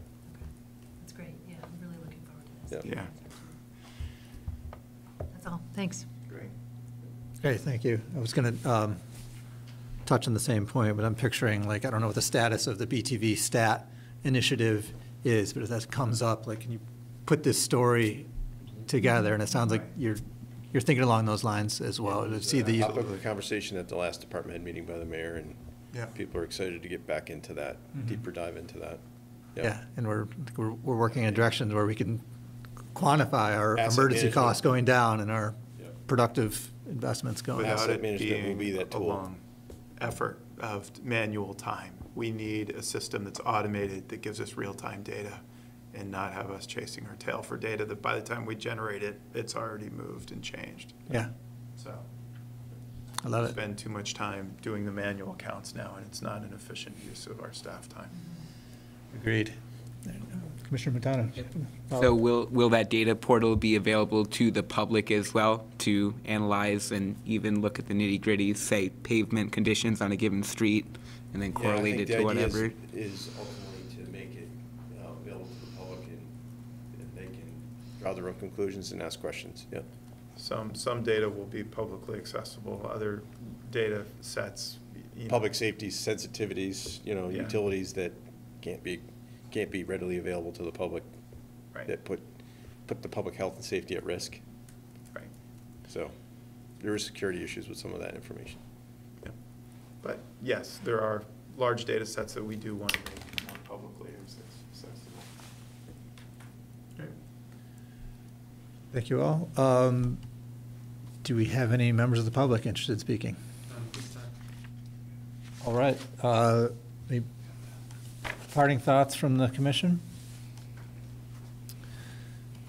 All right, seeing none, there's no action necessary on this item at this time. I will close out agenda item seven and move forward to item eight, the minutes of the June meeting. A note on that is that uh, those that are eligible to vote on the minutes are limited to commissioners at that time that were present at the meeting, I believe. Um,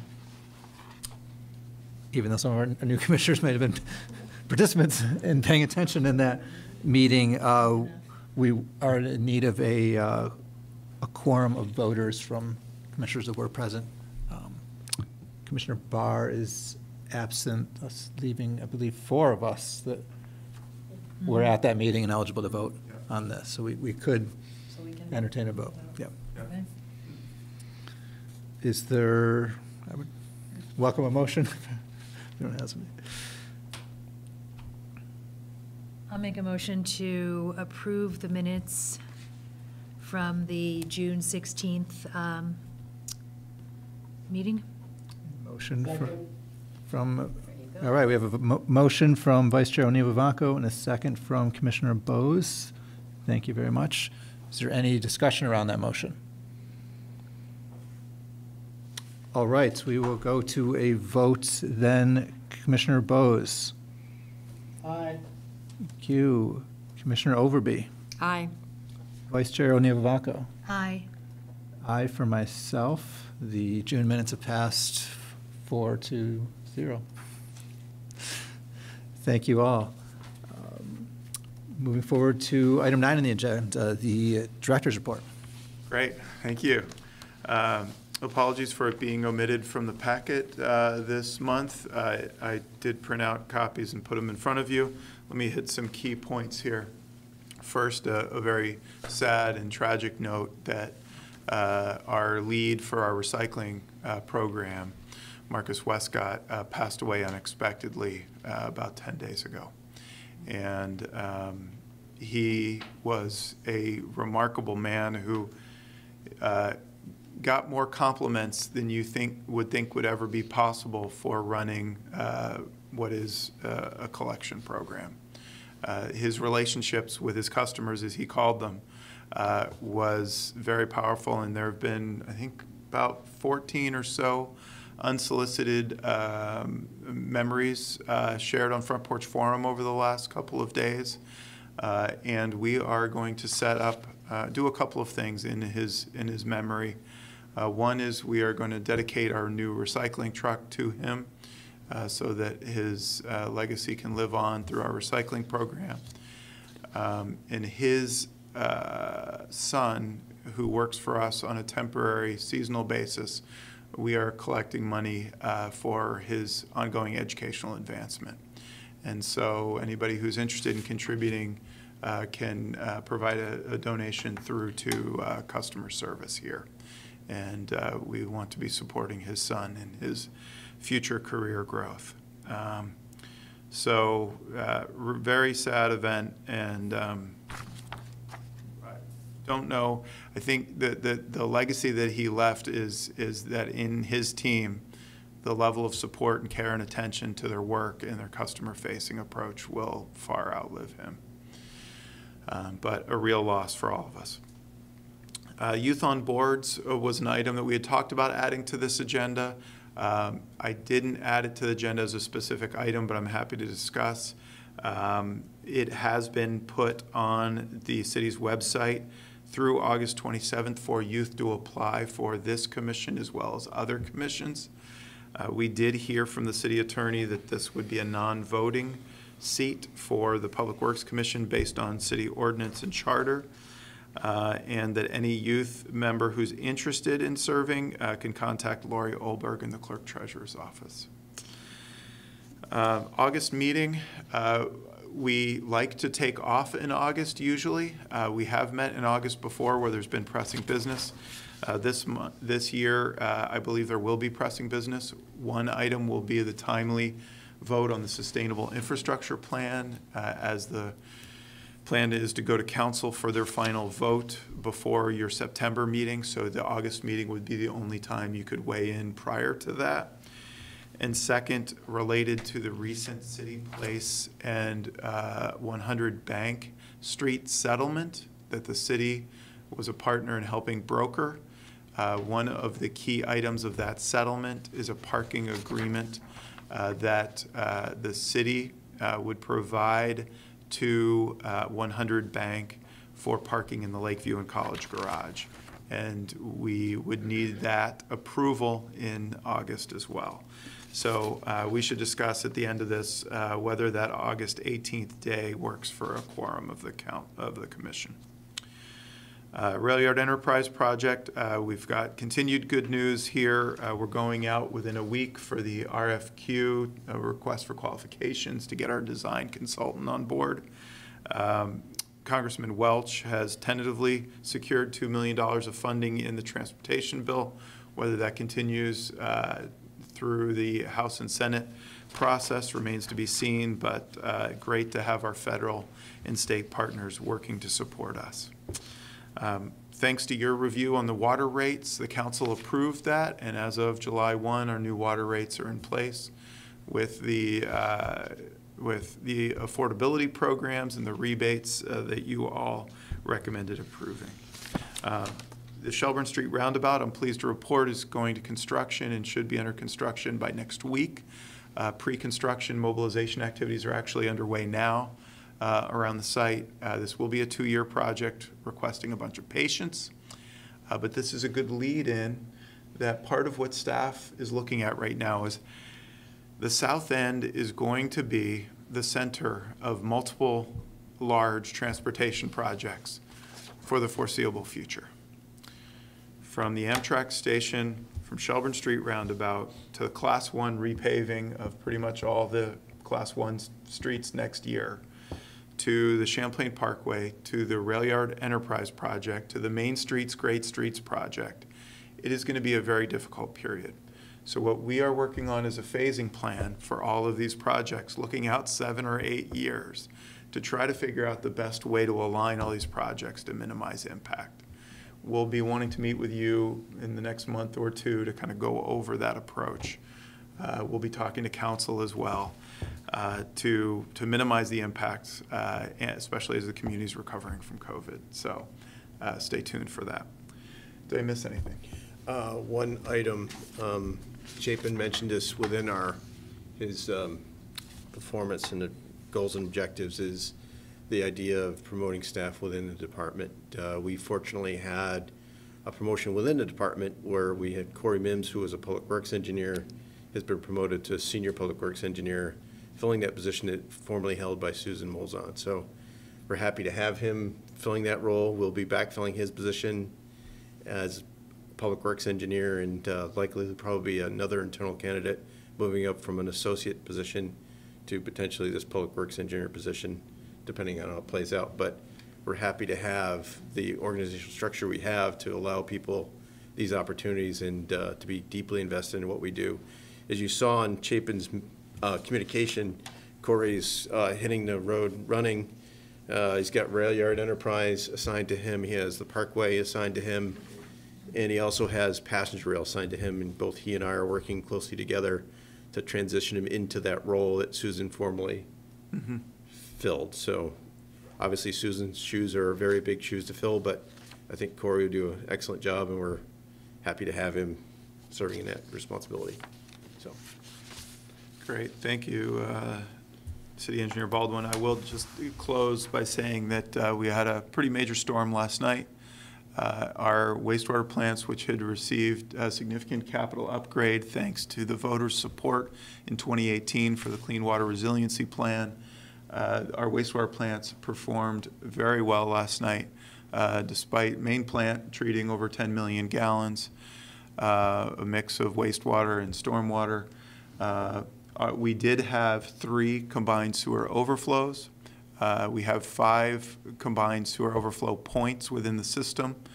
Uh, And I'm happy to talk to um, commissioners if you're interested about the detail of the historic development of Burlington and how wastewater and stormwater were combined in the same collection system uh, for over 100 years, and how that legacy today is something that we are working to uh, improve to better steward the lake and other waterways. Um, But we have um, succeeded together to reduce uh, both the number of CSO points as well as the frequency that they uh, go off. And that is a collective work that we have done together, but we are not done, as last night showed. We have more work to do, and we look forward to uh, that ongoing partnership with you in the, in the months ahead. With that, I'm uh, happy to answer any questions, and maybe now would be a good time to check in on the August 18th date and whether that works for a quorum of the council, of the commission.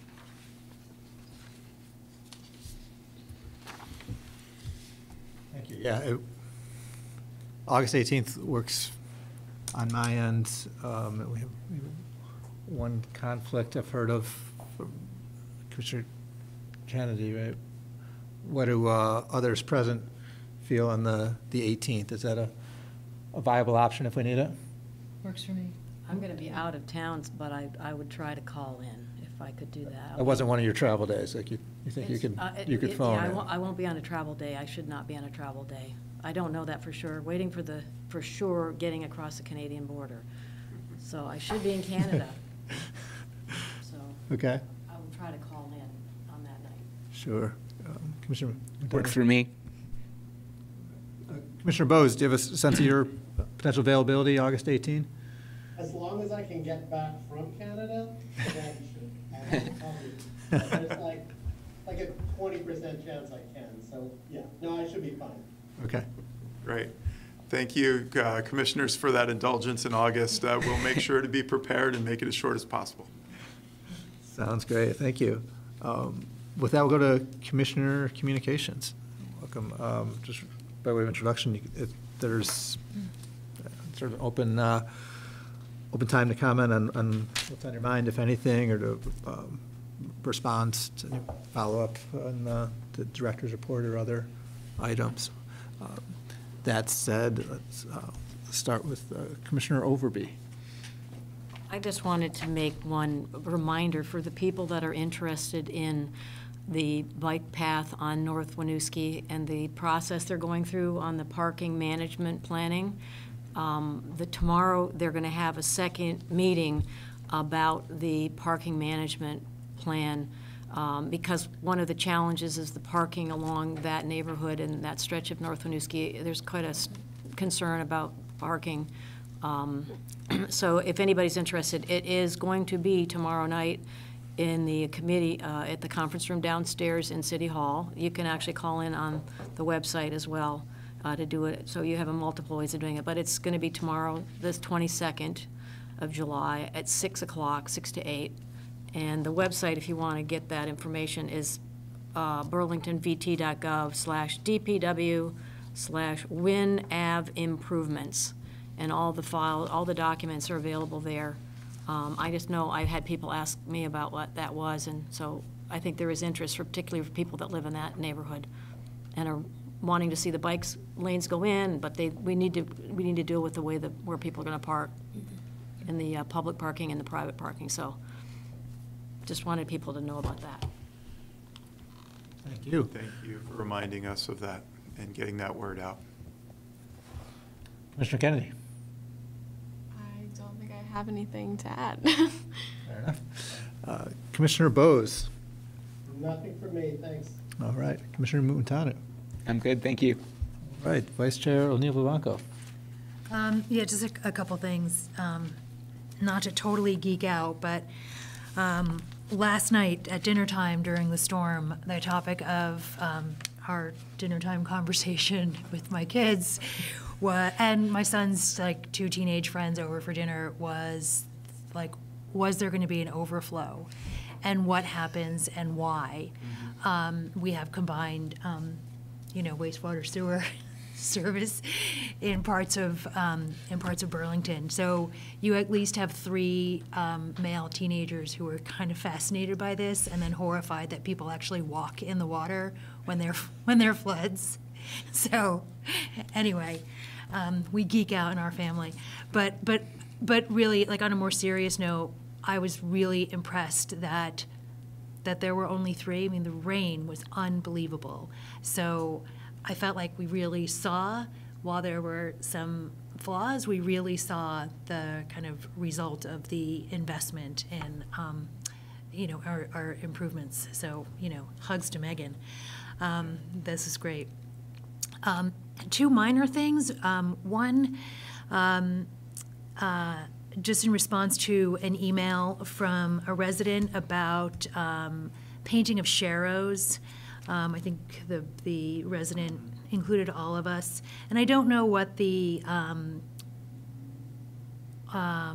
kind of what the timeline is for um, doing the, the Right. painting the sharrows. I've seen them in the spring, maybe it comes later, I don't know. But their concern was that that painting comes too late into the, the biking season. I don't know if we can, we can try to address that. I told them to do see, click, fix, but I think, um, you know, for future planning, if there's some, if there's a way that we can um, get some of that, um, that paint on the ground Yeah. earlier in the season, that would be great. Fair point. We'll get you updates on that. We have gotten our contract with our vendor for FY twenty-two, starting July one. So uh, we should have those being refreshed imminently, I will confirm. Okay.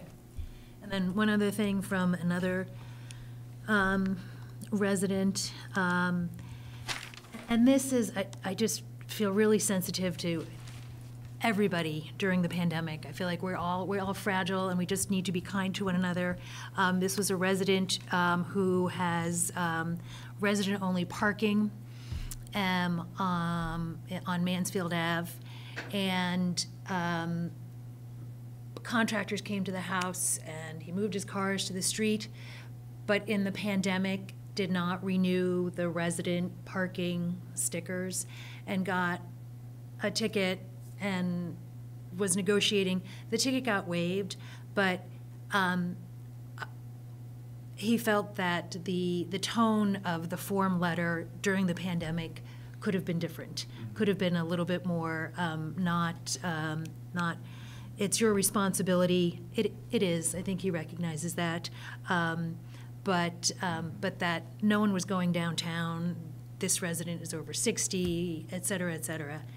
I know we do our best with customer service, um, and maybe this is just a one-time moment. Um, But I think just recognizing the sensitivity of as we emerge from COVID and are emerging, it's a process, right? Um, That uh, some of, some of our communications um, may need to be a little bit more nuanced or understand that, um, you know, some of the panic comes out is, is from the past 16 months. So that's all, that's all I need to communicate. Fair statement. Uh, We have now taken over parking enforcement, and for some, for new commissioners who may not know, from the police department as part of the realignment of police services. So while we had ori- historically uh, set up the regulations and installed the signage, the actual enforcement happened with another department. Now that is part of our department, and Division Director Jeff Paget, who's not here tonight, um, is now overseeing the whole soup to nuts uh, regulation of our parking enforcement. So to that end, I will follow up with Jeff, see what we can do. He is trying to work with the attorneys and the other partners within the city to give us that flexibility to be more customer-centered. A lot of our uh, communication is uh, somewhat bureaucratic because it, it follows ordinance and it uh, needs to be fairly uh, delivered to all members of our community so that we are not treating anybody preferentially. That said, we really do want to be running a program that is understandable and uh, customer-facing. Yeah, I mean, I think getting a letter from the city attorney about your parking makes you feel like, it's like, it's just a parking decal. So again, I think that, you know, the moment in time and as we transition, what we can do better, we can do better. That's all. Okay, so noted. Thanks. Thank you. All right.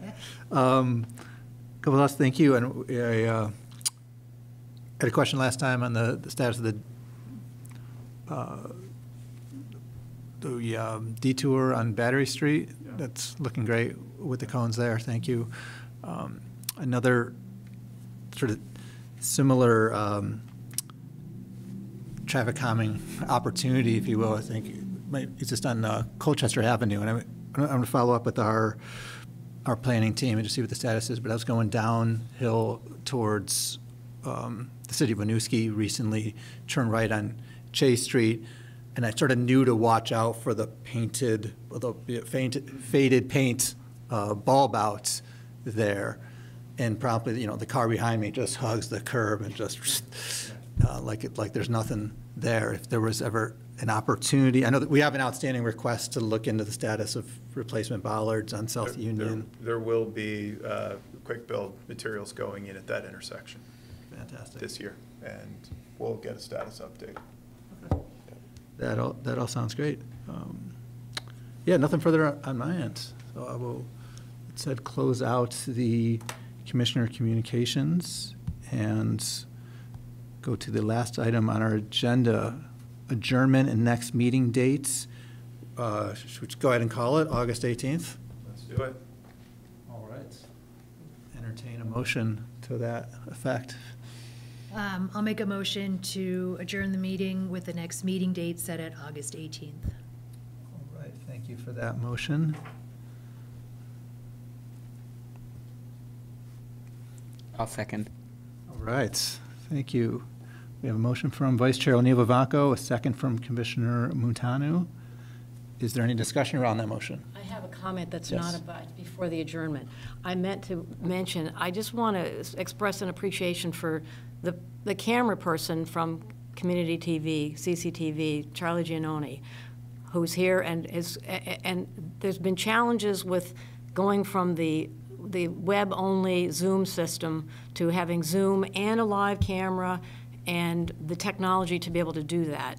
And I just want to commend him, you, Charlie, for doing that work and how that is so important for the public to be able to see these meetings and your willingness to, you know, deal with all the challenges of the new, uh, the new technologies of now not only doing the Zoom and, and the camera and all of our microphones. So I just really wanted to mention that we're back getting to uh, a hybrid situation, which is far more challenging than it was, even though it was very challenging before. So thank you so much for that work.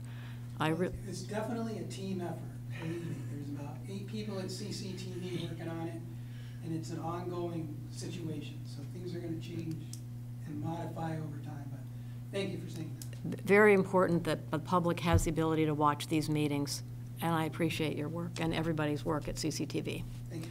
So now we can Vote on the adjournment. All right, uh, so we have a motion to adjourn that has been seconded. Is there any discussion around that motion? All right, I will call roll for, it. make sure we got everybody. Commissioner Bose. Peace out from the West Coast. All right, thank, thank you. Commissioner Montano. Yes. Vice Chair O'Neill Vivanco. Aye. Commissioner Overby. Aye. Commissioner Kennedy. Aye. Aye for myself. We are adjourned. Thank you all. Two Good hours, evening. well done.